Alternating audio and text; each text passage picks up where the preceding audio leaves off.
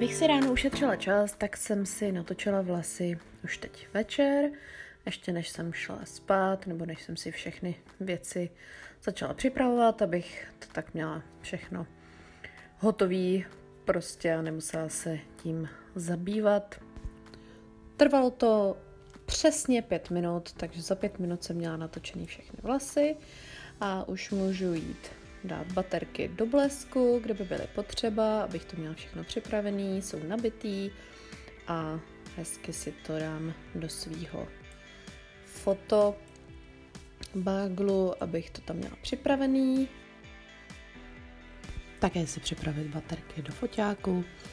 Tady jedna je nabitá, dávám tam hned nabít další, abych měla jich víc do zásoby, vzhledem k tomu, že mám dva foťáky a i natáčím občas videa, tak to sežere docela hodně baterky, takže vždycky musím mít několik baterek navíc, abych měla jistotu, že to tam všechno bude připravené. Tady je druhý záložní foťák.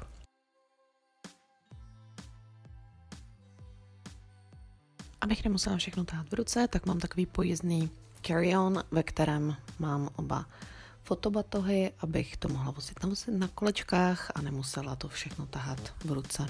Mé záplavě šperků není tak snadné vždycky najít, co chci, nebo respektive od té doby jsem se pustila, jak tam mám vylíní, ale budu si brát tohle. To jsem konečně našla. Tady už jsem procházela tuhle tu krabičku a tady to přenosnou a teď tady to. A ještě k tomu potřebuji najít na ušky. Si myslím, že je mám koupelně. Tak, tohle bude můj outfit. Ještě u toho budu mít ten černý pásek, na který dám závěsnou kabinu na foťák. A vzhledem k tomu, že má být hezký a teplo vítr, tak si asi vezmu tyhle sandálky, protože jsou pohodlný. Ještě než půjdu spát, tak se vždycky podívám na své poznámky z rozhovoru s nevěstou a se ženichem a udělám si takový náčrt toho, co bych chtěla vlastně vyfotit, protože samozřejmě se o tom bavíme s nevěstou se ženichem, o nějaké jejich představě. A když si to takhle rozkreslím a udělám si takové náčrty, tak potom mě to víc tak nějak jako sedne v hlavě a mám lepší představu, protože samozřejmě vím, jak nevěsta vypadá, co jí bude lichotit, co bude lichotit ženichovi a jaké pozice budou lichotivé pro ten pár.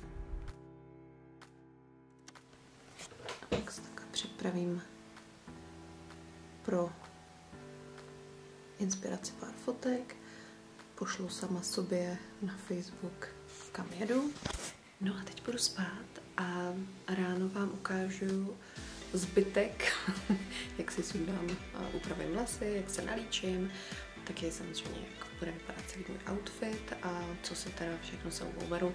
Už jste viděli ten kufr, k tomu ještě beru stativy a externí světla, takový jenom menší.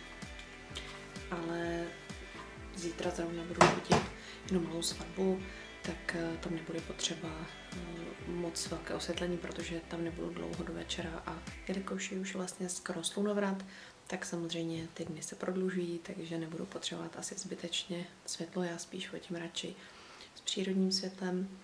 No tak teď jdu spát a ráno uvidíte, jak vypadá moje příprava před svatbou ten konkrétní den.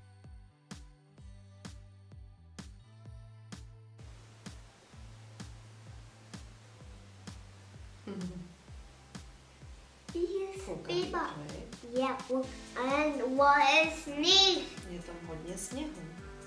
Hodně sneaku.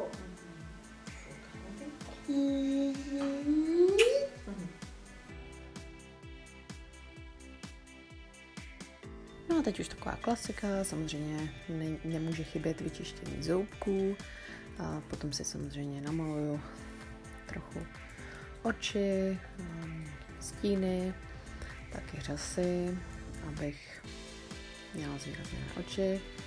Jelikož jsem nevěděla, jestli budu muset mít roušku nebo na focení, tak jsem si zase tak moc pusu nezvýrazňovala, jenom jsem si dala takový trochu barvící lesk a říkala jsem si, že to asi bude stačit. No a rozdělala jsem si vlasy a jelikož jsem to rozdělala nebo respektive, jelikož jsem si do toho dala gel a dost jsem si to natáhla, nějak jsem to podcenila, tak to byl takový fail a tak jsem si to ještě musela trochu dotočit kulmou. A pak už to vypadalo v pohodě.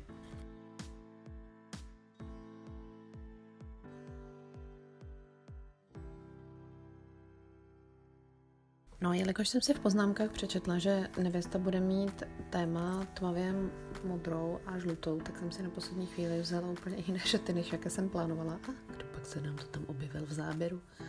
No pak stál. tak jsem řekla, že stejně natáčím jako jestli má počkat, ale jelikož byl stejně záběru, tak jsem řekla, kde jinam. A teď už samozřejmě je čas vyrazit, takže jak vidíte, takhle mám zbaleno. Já už jsem si uh, samozřejmě dala ty stativy do auta. Tohle se natáčela, aby tam byl ten super efekt, jakože to vezu v, jednou, v jednom kuse k tomu autu, což samozřejmě chápete, že to v jednom kuse nebylo. Ale vypadá to efektně. A, a už můžu vyrazit.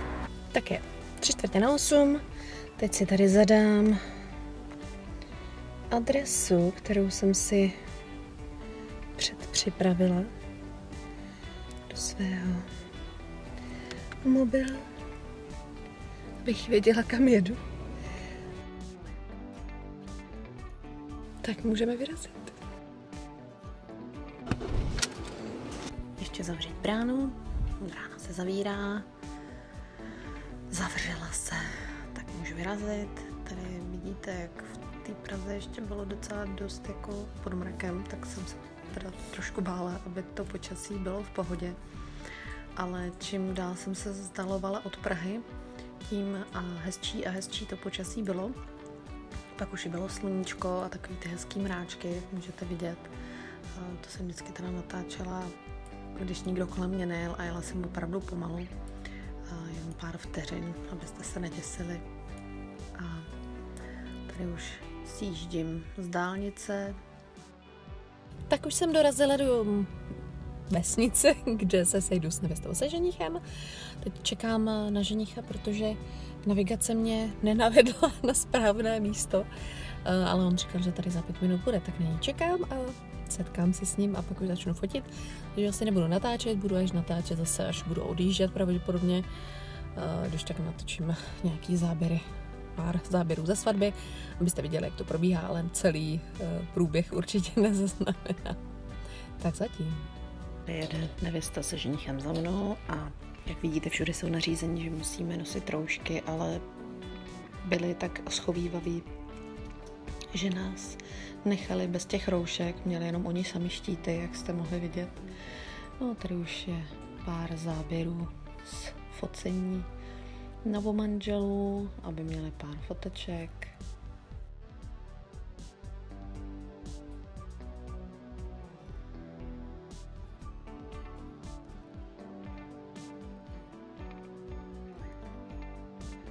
Samozřejmě nesmí chybět krásná fotka krásné nevěsty a tady jsem se ještě vyfotila s novou manželé, ještě než jsem udělala.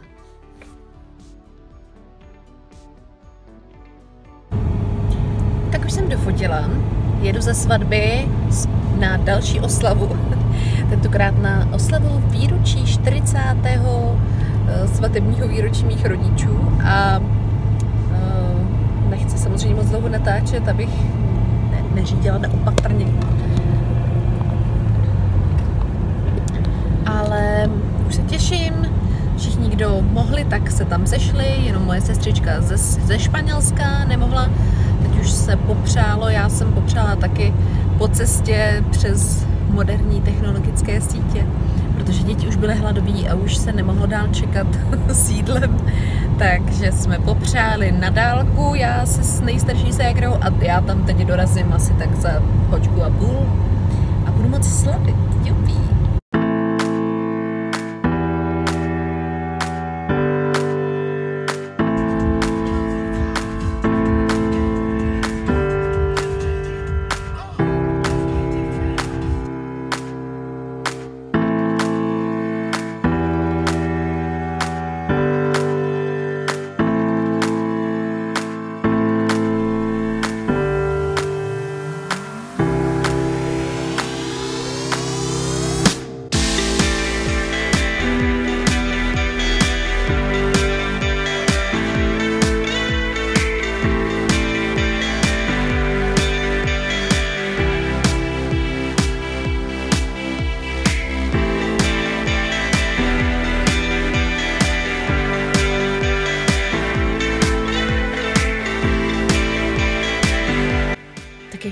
Taková malá zastávka, protože jsem teď zrovna ve svém rodném městě Hlinsku a jdu pozdravit tetu a kamarádku.